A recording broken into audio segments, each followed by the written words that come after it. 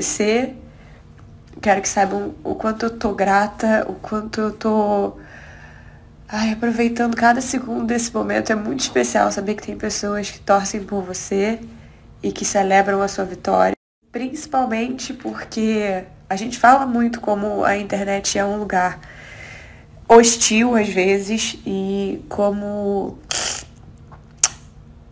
como como as pessoas acabam sendo cruéis. Isso é tão raro hoje em dia nas redes sociais, sabe? Ver tanta gente vibrando, tanta gente mandando energia positiva. Eu mesma, ao longo da minha vida, vivi tantas situações opostas a essa, onde era legal criticar as, sei lá, criticar minha vida pessoal, as minhas decisões, criticar o meu trabalho. É... E as críticas são bem-vindas, mas, poxa, como dói ver, ver as pessoas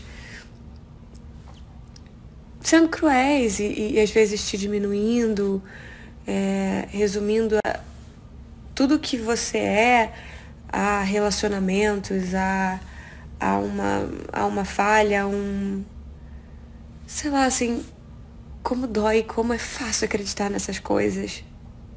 Eu, por muito tempo acreditei no que falavam e comecei a, a me questionar se eu era merecedora do lugar que ocupava. Você é. Eu sou. Menino, não é que é verdade? Não é que eu trabalho há 20 anos da minha vida? Caraca. Não é que, que, eu, que, eu, que eu batalhei a beça? Que coisa. Pois é.